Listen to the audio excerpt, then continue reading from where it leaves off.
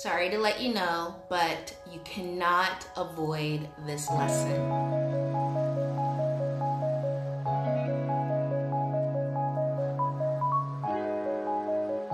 Welcome back, everybody, to the Intuitive Minute. I'm Najaam Versailles Lee, and today is Monday, May 20th, 2024.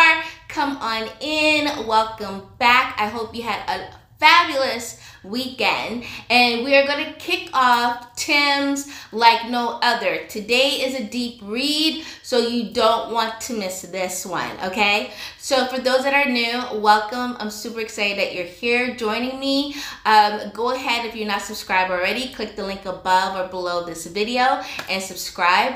Also, please like this video, share this video, and especially comment below how today's reading does for you. I like to hear from everybody. I do respond. So I want to hear from you how today's read does for you.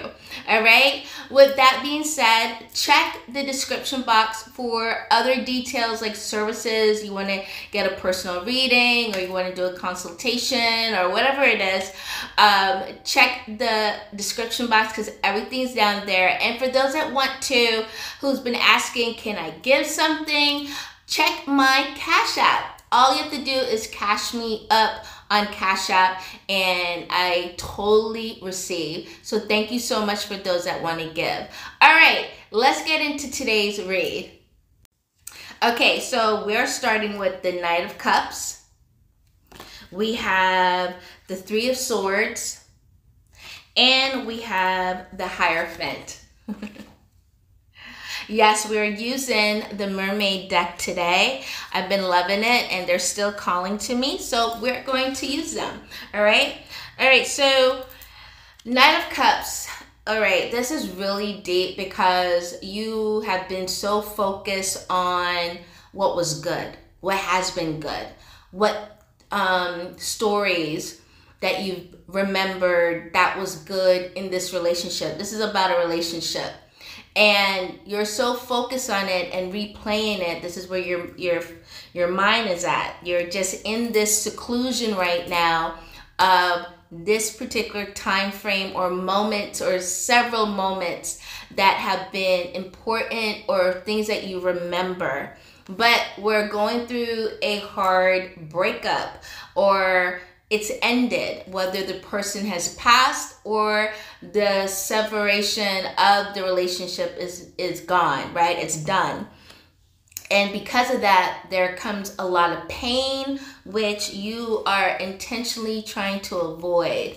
Um, you don't want to face the pain. You don't want to face uh, those feelings. You don't want to look at anything. You're just being in this bubble where it feels safe to you right now and being in that uh, too long can be detrimental um, because it doesn't help you to grow. It doesn't help you to learn. So the Hierophant steps in and is like, I'm, I'm, I'm writing the history of this. I'm writing a tell-all book of exactly what happened. I am making a record of it, right? But I, you need to learn the lessons from this is what is happening here. There are lessons from this relationship that you got to learn you got to look at you got to face the pain you got to feel it.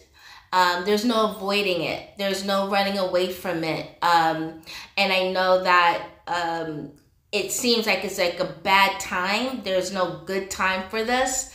And you just want to stay to what was good or what felt good for you. But you're being ushered to move forward now. You're being ushered to really look at the lessons necessary for you to move forward in your life. If you want to go deeper with this, go ahead and book a session with me. I would love to do a reading with you. And that is what I have today for Monday. I wish you a beautiful day. As you know, everything's in the description box, and I will see you mañana.